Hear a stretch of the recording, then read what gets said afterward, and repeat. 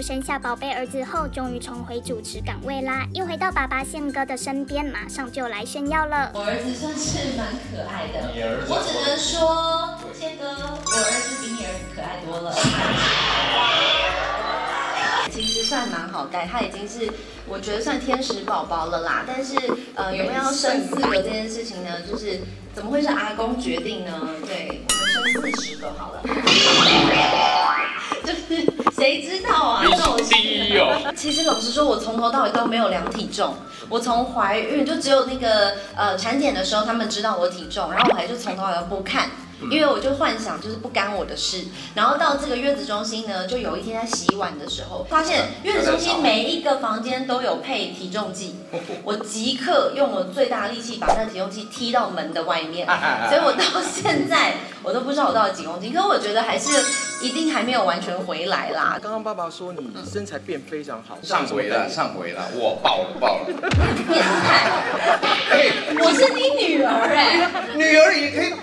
对不对？不是，对啊，没有一个爸爸会这样形容自己女儿。他们已经对你很好，没一回来就问你王之家的事。既然宪哥都提起了，那当然要来问一下最近闹超大的假包事件啦。这个我是不是很了解？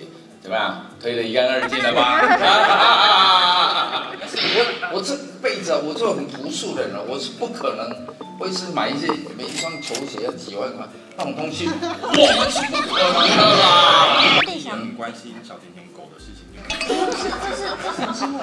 就就甜甜说虐狗了，好了，平常无事啦。希望这个平常没事，大家多吃一点党物。什么是党？党乌就是他的狗的名字叫党对啊，他们都是。哇，我真的是圈外人呢。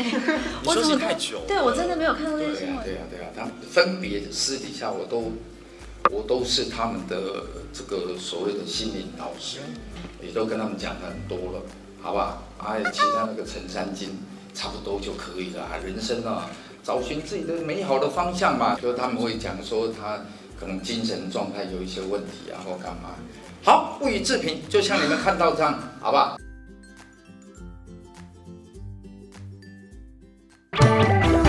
Thank.